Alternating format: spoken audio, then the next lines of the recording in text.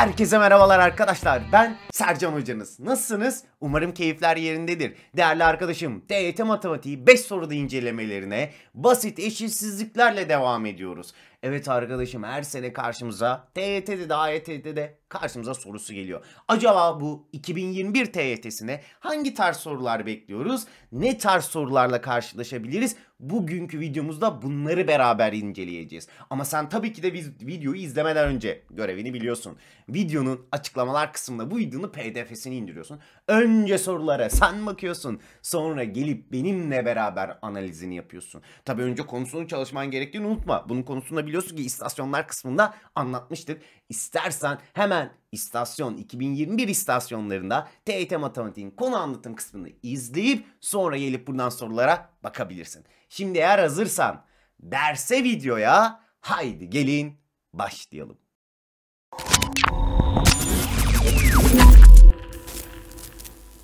Haydi gel bakalım arkadaşım. İlk sorumuzla başlayalım. Basit eşitsizliklerin 5 sorunda tahminine.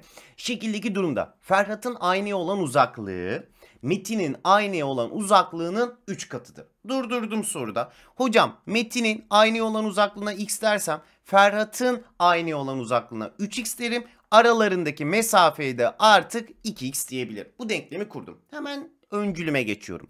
Metin aynaya doğru 8 metre ilerlediğinde, bizim Metin aynaya 8 metre ilerlediğinde Ferhat ile Metin'in her ikisinde aynadaki görüntüsü arasındaki mesafe 20 metreden az demiş.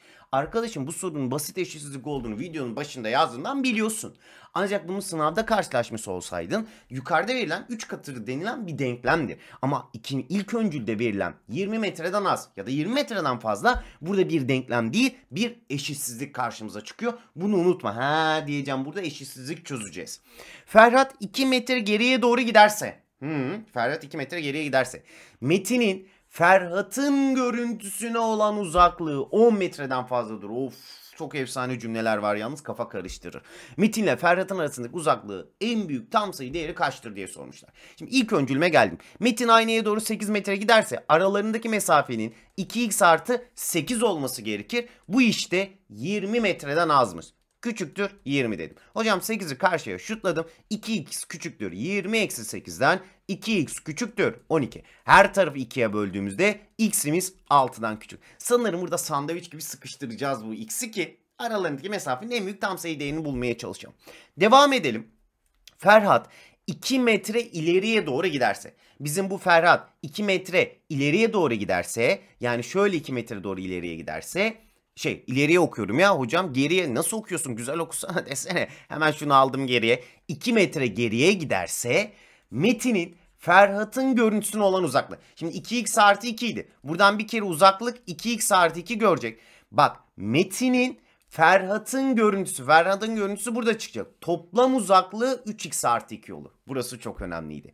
3x artı 2'nin 10 metreden fazla olması gerekiyor. Büyüktür 10 dedim. Hocam 2'yi karşıya şutladım. 3x büyüktür 10 eksi 2'den 3x büyüktür 8. Her tarafı 3'e böldüğümüzde x büyüktür 8 bölü 3. Artık iki tane elimde denklem var. 1 x 6'dan küçük 1 x 8 bölü 3'ten büyük. Sıkıştırdığımızda elimize bunu aldık. Peki Bizden istenen ne? Metin ile Ferhat'ın arasındaki uzaklığın en büyük tam sayı değeri. Aralarındaki uzaklık 2x'ti. O zaman gel dostum her tarafı 2 ile genişletelim. Her tarafı 2 ile genişletelim. 2 ile genişlettiğimizde buradan hocam 16 bölü 3 küçüktür 2x. Küçüktür 6 kere 2 12. Bu 2x neyi tarif ediyor bizim için? Aralarındaki mesafeyi tarif ediyor. İşte bunun alabileceği en büyük tam sayı değeri burada olan 11 sayısıdır. Yani doğru seçeneğimin Adana şıkkı olması gerekir. Ey güzel arkadaşım burada dikkat etmen gereken şunu yapabilirdi. Ya hocam ben burada x'i verebileceğim en büyük tam sayı değerini seçerdim. 5, 2 ile çarpardım 10. Şükür şıklara koymamışlar yanılabilirdi. Arkadaşım bu x'in tam sayı olduğunu bilmiyoruz. Tam sayı yoksa eşitsizlikleri çözerken toplu çözüm yapıyorum. Bu kısmı anlamadıysan hemen gidiyorsun benim 2021 TYT istasyonlarından basit eşitsizlik konusunun videosunu izliyorsun. Orada bunları ayrıntılı bir şekilde anlattım.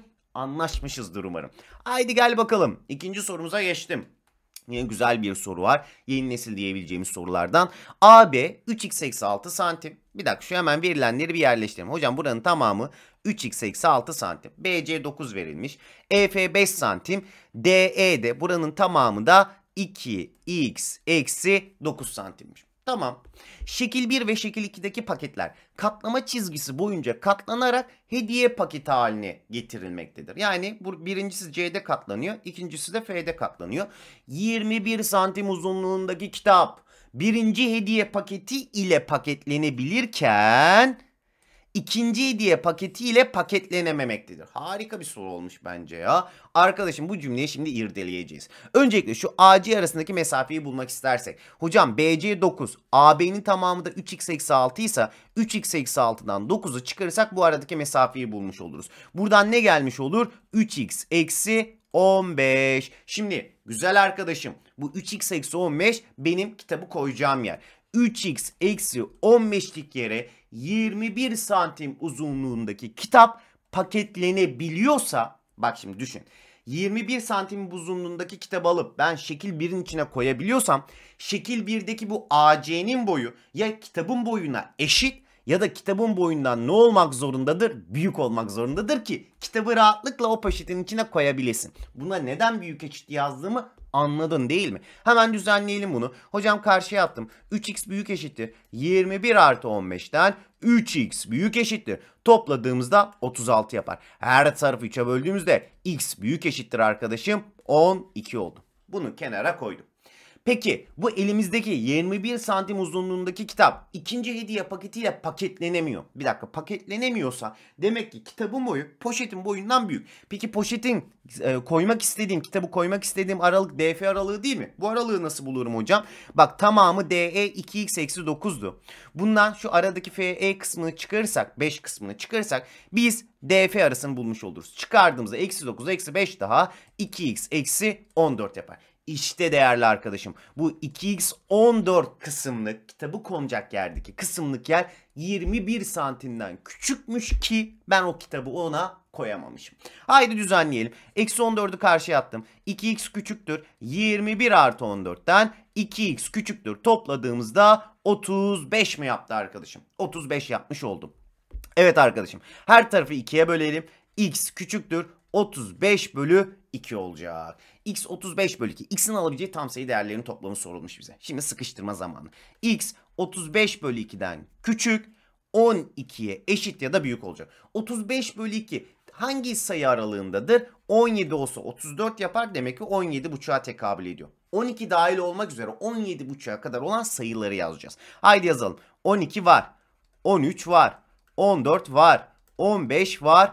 16 var. 17 var. Var oğlu var. 17'ye kadar geldim. Haydi gel toplayalım. 12, 13 daha 25 yaptı. 25, 14 daha 39.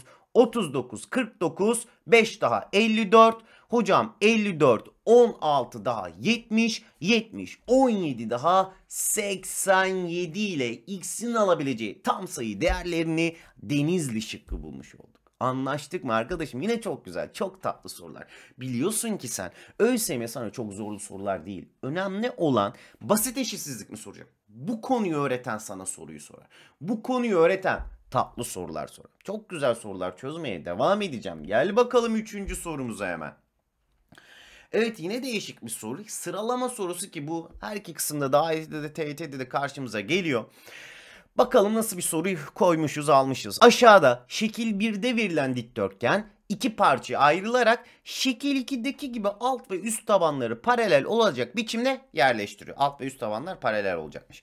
Şekil 1'de bazı noktaların dikdörtgenin uzun kenarlarından birine olan uzaklıkları da gösterilmiştir. Buna göre A, B ve C sayıları arasındaki sıralama aşağıdakilerden hangisinde doğru olarak verilmiştir? Arkadaşım ben bu dikdörtgenin bu kenarına K birim dersem o zaman şuranın uzaklığı şu pembe bölgede oluşan 3 birimlik uzaklık. Burada geriye ne kalır? K eksi 3 birimlik uzaklık kalır. Aynı mantıkla devam edersek şu uzaklığı bulmak istersem tamamı K birim uzaklıktı. Pembenin tabanı olan uzaklığı 9 ise geriye K eksi 9 kalır. Bu mantıkla devam ediyorum arkadaşım. Burada ne kalacaktır? Hocam bu sefer K eksi 5 kalacaktır. Burada ne kalacaktır? Buranın uzaklığı K eksi 10 kalacaktır. Hocam şuradaki uzaklık ne olmalıdır? K eksi 4 son kez yazıyorum. Şu uzaklığında k eksi 6. Şimdi şu nokta bizim başlangıç olan bu uzaklığa mı denk geliyor? Yani k eksi 3. Tamam hocam. Şimdi k eksi 3'ümüz var. A'mız var. Bir de ikinci bak sivrildiği noktanın zemin olan uzaklığı gerekiyor. Şimdi ikinci bu birinci ikinci şu uzaklıktan bahsediyor 9. Onu buraya getirmiş. Kaydırmış şekil 2'de dikkat ederek gideceğiz. Devam ediyorum. Şimdi arkadaşım B için yazacağım. Bak B için şu uzaklığı bulmam lazım. Bak 1, 2, 3. noktaya geleceğim. 1, 2, 3. 3. noktanın üstteki uzaklık K eksi 5. K eksi 5. Bunu yazdım. Hocam şöyle yazdık. Evet şu 5'i güzel yap bakayım dostum ya. Daha okunaklı yap bakayım. Ha. Sonra bak altı için 1, 2, 3, 4. Dördüncü nokta. 1, 2, 3, 4. Dördüncü nokta. Pembenin 6 olan uzaklığı 11. Onu da yazdım. Hocam bak burası da 11'miş. Devam ediyorum dostum iyi izle. C için yapacağım. C kaçıncı noktaya denk geliyor? Çünkü bunları dikkat yap. Kaydırma var zihnimiz karışmasın. 1, 2, 3, 4, 5. 1, 2, 3, 4, 5. 5 noktasının üst kısmı uzaklığı K-4. Hemen yazdım şuraya. Hop birader K-4. Alttakinin de uzaklığı kaçıncı noktaya denk geliyorsa inceleyeceğim. 1, 2, 3, 4, 5, 6. 1, 2, 3, 4, 5, 6. Alt uzaklık 6, 1. Burası da 6 birim. Harikayız. Arkadaşım şu uzunluklara baksana. Bunlar zemine eşit uzaklıkta değiller mi? Bu uzaklıklar yeşille gösterdiğim uzaklıklar birbirine eşit olmak zorunda değil mi? Haydi eşitleyelim. K eksi 3 artı A artı 9. Kime eşit olmalı? K eksi 5 artı B artı 10'a. K eksi 5 artı B artı 10'a. Bu da kime eşit olmalı? K eksi 4 artı C artı 6. K eksi 4 artı C artı 6. Ufak düzenlemeler yapacağım. Hocam bütün denklemlerde eşitliklerde K'lar var. Bu K'ları şutladım. Geriye kalanları yazıyorum. A eksi 3 9 daha A artı 6 yapar. Hocam bak burası B artı eksi 5 10 daha 5 yapacaktır. B artı 5. Hoca bak burası da C artı 2 gelir. Şimdi arkadaşım bunları gel biz bir sayıda eşitleyelim. Kaçta eşitleyelim biliyor musun? 7'de eşitlediğimi farz et. 7'de eşitlemek için A'ya kaç verirsin? Hocam A'ya 1 veririm. B'ye 2. C'ye 5 veririm. Peki A1, B2, C5 olursa en küçük aralarında kimdir? A'dır. Sonra B'dir. Sonra C'dir. Aha da bu mesafeleri sıraladım senin için. A B'den, B de C'den küçük olmalı. Yani doğru seçeneğimizin Adana olması gerekir. Çok güzel bir sıralama sorusu olmamış mı bizim için ya? Hani biraz uğraştırıyor, biraz da dikkat gerektiriyor, biraz da sayısal mantık işin içine giriyor. Farkındasındır. Umarım arkadaşım diyorum. Ve evet standart sorular sormuyor mu? Son dönemlerde biliyorsun ki yeni nesille beraber Şimdi son 3-4 senedir yeni nesil sorularda artış vardı. Ama son sene ve bir önceki seneye baktığımızda standart sorulardan da soru geliyor artık. Yani azımsanmayacak kadar her şeyine yeni nesil gelecek diye bir kural yok. Bu soruyu buraya koymamın temel sebeplerinden biri biraz da konuyu unutanlar arkadaş için bir tekrar olsun istiyorum. Çünkü burada eminim ki karıştıracaksın. İstiyorsan dur dur videoyu kendin çöz bakalım. Aynısını bulacakmışsın. Yorumlara yaz istiyorsan. Bence birazcık hata yapacak mısın gibi geliyor bana. Gel bakayım buraya. Falanca filanca eşitlik, eşitsizlikleri verilmiş. Olduğuna göre yargılardan kaç tanesi yanlıştır diye sorulmuş. Burası çok önemli. Tamam bak burası çok önemli iyi dinle. Tam birini hatırlattı bana ama burası çok önemli. Şimdi arkadaşım bak sorunun üst kısmında x ve y ile ilgili herhangi bir şekilde tam sayı ya da reel sayı denmiyorsa biz x ve y'yi reel sayılarmış gibi düşünürüz. Böyle düşündüğümüz zaman da hiçbir zaman x ve y'den sayılar seçerek çözmeyiz. Nasıl çözeriz? Toplu halde çözeriz. Hocam toplu halde ne demek? Toplu halde şu demek. Şimdi x ile y'nin çarpımı isteniyor. Eğer sen x ile y arasındaki aralığı belirlemek istiyorsan buradaki verilen uç noktaları sırasıyla kendi aralarında çarpacaksın. Eksi 3 ile eksi 5'i çarptım 15. Eksi 3 ile 3'ü çarptım eksi 9. 6 ile eksi 5'i çarptım eksi 30. 6 ile 3'ü çarptım 18. Bu aralıktaki en küçük tam sayı değeri eksi 30. O zaman onu getirir yazarım. Bu aralıktaki en büyük tam sayı değeri de bizim sınırımızın uç noktası olur. 18. Onu da getir buraya yazarız. İşte x çarpı y'nin aralığı eksi 30 ile 18 aralığında olmalıdır. Doğru mu? Doğru. Yalnız bu çözümler ne için geçerli biliyor musun? Bu yaptığım çözümler sorunun başında reel sayı yazıyorsa ya da hiçbir şey yazmıyorsa toplu çözümlerle çözülür. Şimdi arkadaşım şurayı tekrardan sildim. İkinci öncül için geldim. 2x eksi 3y'nin değer aralığı sorulmuş bize. Şimdi x eksi 3 ile 6 arasındaydı. Ben bunu 2 ile genişlettiğimde her tarafı 2 ile çarpmam gerekir. Eksi 6 küçüktür 12 çıkar. Arkadaşım bir de eksi 3 y'ye gerekiyor. Her tarafı eksi 3 ile çarpacağım. Eksi 3 ile çarptığımda yön değişecek unutma. İstiyorsan şuraya bir çarpalım. 15. Eksi 3 ile çarptım yön değiştirdim. Eksi 3'ye. Eksi 3 ile çarptım. Eksi 9. Ama ben büyüklüğü yazılımı sevmem. Gel bunu ters çevir tersten yazdır bana. Eksi 9 küçüktür. Eksi 3'ye küçüktür. 15 olur işaret yönleri aynıysa taraf tarafa toplama işlemi yapabilirsin. Yaptım. Hocam bak burası eksi 15. Küçüktür. Toplayınca 2x eksi 3'ye. Küçüktür. Toplayınca 27 geldi. İstediğim aralığı buldum. Anda istediğim aralığı buldum. O zaman ikinci verilen ifadenin de doğru olması gerekir. Eğer sen hocam 2x, x'i verebileceğim en küçük aralığı verin. Misal sallıyorum eksi 4. Y'ye verebileceğim en küçük eksi 4 mü? X'e en küçük eksi 2 verirsin hocam. Ne eksi 4? X'e eksi 2 ver. Y'ye de bu aralıkta verebileceğin en küçük eksi 4'ü ver onu düzenlediğinde o en küçük aralığı vermez senin için. Ne zaman verir? Sorunun başına tam sayı derse. Demediği için toplu çözüm yapıyorum. Burası çok önemli. Tamam mı? Sakın unutma. Şimdi geldim. Yine şu kısmı bir silelim. Bizden üçüncü öncüle ne isteniyor? x karenin değeri kaçtır? Eğer arkadaşım bir aralık verilmişse bu aralığın kareli ifadesi soruluyorsa 3 durum var. Eğer istenen sayının karesi soruluyorsa aralıkları biri eksili biri artılı mı diye bakılır. Şimdi x'in biri eksili biri artılı. Eğer böyleyse her zaman en küçük sayı hiç düşünülmeden sıfır seçilir ve sıfır dahildir. Çünkü bunların karelerini aldığınız zaman bu aralıktaki sayıların en küçük sayı hep sıfır gelecektir. Çünkü eksilerin karesi hep pozitif geleceğinden sıfırla başlatıyorum. Uç noktayı nasıl bilirim? Çok basit. Verilen uç noktaların karesini alırsın. Buradan 9 gelir. Buradan 36 gelir. Hangisinden daha büyük geliniyorsa onu gelir yazarım. Demek ki bu aralık sıfır dahil olmalı. 36'ya kadar gitmeni adam da evet aynı şekilde vermiş. Üçüncü öncülümüz de doğru o halde.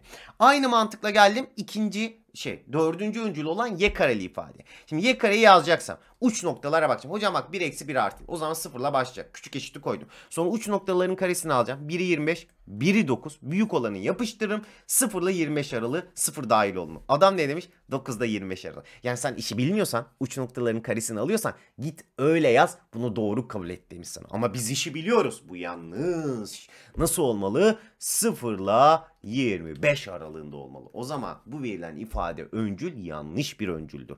Geldim son öncülüme çift kuvvetlerde bu işlemi yapıyorum. Tek kuvvetlerde herhangi böyle bir durum söz konusu değil. X'in küpü istenmiş. Hiçbir şey yok. Bodoslamadan git uç noktaların küpünü al gel ve yaz. Eksi 3'ün kübü nedir? Eksi 27. 6'nın kübü 6 kare 6 36 36 ile de 6'yı çarptığında 216. İşte bu aralık olmalı. Verilmiş mi bu aralık? Verilmiş. Bu son öncülümüzde doğru. Kaç tanesi yanlıştır? Bir tane yanlış buldum. O halde doğru seçeneğimizin Adana şıkkı olması gerekir ya. Aslında konu bundan ibaret biliyor musun? Ve en karıştırılan ve en önemli yerlerinden biri olan kısım da burasıdır. Ve bence standart soru sorulacaksa size bu kısımdan bu tarzı ilgilendiren bir soruyla karşınıza gelir. Ha yeni nesil soracaklarsa sayısal mantıkla biraz daha bu denklemleri kullandırmayan ama mantığınızı kullanıp eşitsizlikle çözebileceğimiz demin çözdüğüm ve şimdi çözeceğime benzer sorular bizim karşımıza gelecektir. Haberin olsun yeni nesille ilgili. Son 5. basit eşitsizlik tahmin sorumuza bakıyoruz. Dikdörtgenler prizmasının ayrıtları A, B ve C olmak üzere. Cişi, cişi hocam cisim köşegeni A kare B kare C karenin toplamının kareköküne eşittir. Şimdi arkadaşım cisim köşegenlerini sen formülle de bulabilirsin formülsüz de bulabilirsin. Ama artık biliyoruz ki ÖSYM bu vermek istediği ya da soruda kullanman gereken bir formül varsa onları kesinlikle sorunun başında veriyor. Vermişti. Tamam neyse biz bir soruya bakalım. Sakın sorudan korkma şekline, şıklığına bakarak. Fatih boyları özdeş. Bir dakika bunların boyları özdeş. Yani ben bunun boyuna x dersem bu siyah kalemin boyuna da x diyeceğim. E neyse dur hocam bir soruyu okuyalım. Mavi ve siyah kalemleri dikdörtgenler prizması şeklindeki kalemliğinde şekil 1'deki gibi konumlandırıp siyah kalemin dışarıdan görünmediğini. Yani ben bu kalem kutunun içine köşegen şeklinde AB kalemimi koyduğumda A ile B noktasına bu X siyah kalemimi koyduğumda dışarıdan çıkıp baktığımda kalem kutunun dışından göremiyormuşum. Ama diyor mavi kalemin ise bir kısmının dışarıdan görünebildiğini söylemiştir. Hmm, burası çok önemli ya. Bak buradan neler çıkar. Şimdi her ikisinin kalemin boyu x olduğu için bu x aralığı. Şimdi dur. Eğer bu boydan bu boydan ben bu uzunluktan baktığımda dışarıdan görebiliyorsam şuranın uzunluğuna bakarım. Yüksekliğine bu verilen dikdörtgenler prizması. 15. Demek ki dedim benim bu kalemim 15'ten bir kere büyük. Büyüklük görmüşüm ben bu kalemi derim. Siyah kalem de aynı uzunluktaydı. Yalnız siyah kalemi göremiyorum. Demek ki şuradaki oluşan cisim köşegen uzunluğundan ya eşit olmalı, eşitse de görünmez. Ya da ne olmalı? Küçük olmalı kalemin boyu. Cisim köşegen CK derim. Anlaştık mı? Çok güzel bir şey çıkardık burada. Fatih siyah kalemin 2 bölü 3'ünü. Mavi kalemin ise yarısından 4 santim fazlasını kullandıktan sonra kalemleri şekil 2'deki gibi uç ucu eklemiş. Eyvah eyvah kale aralığı kaç lira? Eyvah eyvah. Şimdi öncelikle cisim köşegenini bulacağız. Hocam formülünüz belli. Bütün kenarların karelerinin toplamının karekökünü alacağız. Haydi gel düzenleyelim burayı. Hemen 4 kök 2'nin karesini artı 4 kök 2'nin karesi artı 15'in karesinin karekökünü aldım. Hocam ben formül bilmeseydin ne yapacaktım? Valla cisim köşegeni nasıl bulursun? Bak önce şu kenarı birleştirirsin. Hipotenüs olur. 90'dır. Buradan 4 kök 2. 4 kök 2'den. E ikiz kenar hatırlıyor musun? Kök 2 katını alırsa burasının 8 olduğunu görürsün. Hocam bak şurada da bir dik üçgen çıkar. İşte biz buradan AB'ye ulaşacağız. Ya burası 90, 8, 15, 17 özel üçgeni. Sen burayı düzenlemiş olsaydın aslında buranın 17 karekök dışına çıktığını görmüş olurdun. İstiyorsan sen uzun uzun çöz. Ben biraz geometri bilgimizi kullanarak çözdüm. Anlaştık mı arkadaşım? Devam ettim. Şimdi bu x aralığı 15 ile o halde 17 aralığında 17 dahil. Yalnız gidip sakın hocam 16 ile 17'yi alırım deme. Çünkü bu x sayısı tam sayı denmemiş. Bu kalem uzunluğu bir tam sayı eşittir denmediği için aradaki herhangi bir sayı olabilir. Şimdi kalemin boyunu buldum ben. Bu her iki kalemin de boyu eşit olduğuna göre kalemlerin boyu 15 ile 17 aralığında. Fatih siyah kalemin 2 bölü 3'ünü kullanırsa Geriye ne kadar kalır bu kalemin? 2 bölü 3'ünü kullandıysa 1 bölü 3'ü. O zaman bu kalemin 1 bölü 3'ünü almam lazım. Yani biz bunu 1 bölü 3 ile genişleteceğiz. Dikkat et. 15 bölü 3'ten 5 küçüktür. x bölü 3 küçük eşittir. 17 bölü 3 gelir. Burası hangi kalem? Burası mavi kalemden geriye kalanlar. Şimdi ise siyah kalem yok siyah kalemmiş hemen niye öyle okuduk? Siyah kalemin 2 bölü 3'ü. Bu siyah kalemden geriye kalanlar. Şimdi ise mavi kaleme geldim. Mavi kalemin ise yarısından 4 fazlasını. Eğer sen yarısından 4 fazlasını kullanırsan yarısından 4 eksiği sana kalır. Kalemin boyu bu değil miydi? Bu aralıktaydı. Şimdi önce yarısını alacağım. İyi izle. 15 bölü 2 küçüktür. x bölü 2 küçük eşittir. 17 bölü 2. Peki bana kalan nedir? 4 fazlasını kullandığına göre 4 eksiği kalacak. Eksi 4 eksi 4 Eksi 4. Ya efsane soru ya. Burası da mavi kalemden geriye kalanlar. Düzenleyelim. 4 kere 2 8. 15'ten 8 çıktı. 7 bölü 2 küçüktür. Hemen buraya düzenledim hocam. Ya buraya düzenlemeye bile gerek yok. Buraya mavi kalemden geriye kalanlar da yazabilirim istersen düzenle. Burası ne? Burası siyah kalemden geriye kalanlar kısmı. Burayı düzenlediğinde 4 kere 2 8. 17'den 8 çıktığında 9 bölü 2 kalır. Burası mavi. Peki siyah da gel yaz dostum altına. Siyah küçük eşittir 17 bölü 3. Küçüktür 5 oldu. Bizden istenen kale. Kale dediğim bu iki kalemin geriye kalanların toplam boyu soruluyor. O zaman gel taraf tarafa toplayalım artık. 7 bölü 2 5 daha 5 kere 10 17 bölü ne gelecektir arkadaşım buradan? 2. Küçüktür. Mavi kalem artı siyah kalem küçük eşittir. 9 bölü 2 ile 17 bölü 3 toplayacağım. Paydaları eşitliyorum 6'da 3 2. 9 kere 3 hop 27. Buradan 34. Bölü 3 kere 2 6. Düzenlediğimde arkadaşım artık düzenleyelim. 1 61 mi geldi? 61 bölü 6. Demek ki adam eyvah dur ne oldu 17 bölü 2 ile mavi artı siyah küçük eşittir 61 bölü 6. Yani arka Hocam lütfen kısacası kutu içine aldıkça benim sağ olsun yine grafik tabletim beni mahcup ediyor sizlere karşı. Hemen 61 bölü bölü aldım şöyle bıraktım silmedi bu sefer. Yani doğru seçeneğimin Bursa olması gerekecekti. Ey güzel arkadaşım burada ya. Efsane bir soruyu çözdük. Çok fazla bilgiler kullandık. bir tık da zor olduğunu farkındayım sorunun. Ama başta çözdüğüm ilk 3 soru daha fazla TYT'de beklediğim soru tarzı. Ha bu tarzda bir tık daha yeni nesille zorlaştırarak karşına getirmek istedim böyle bir soruyu da görmeni istedim açıkçası. Ama burada basit eşitsizliklerde çözerken en fazla hataya düşeceğiniz nokta burada x'i bir sayı değeri olarak seçmeniz. Ama soruların başında istenenlerin eğer tam sayı olduğu söylenmediyse eşitsizliklerde mutlaka onlarla toplu çözüm yapmanız gerekiyor. Mutlaka onlara reel sayı görevi, görevi vererek çözmeniz, reel sayıymış gibi düşünerek çözmeniz gerekecektir. Anlaştık mı arkadaşım? Attım kalemimi.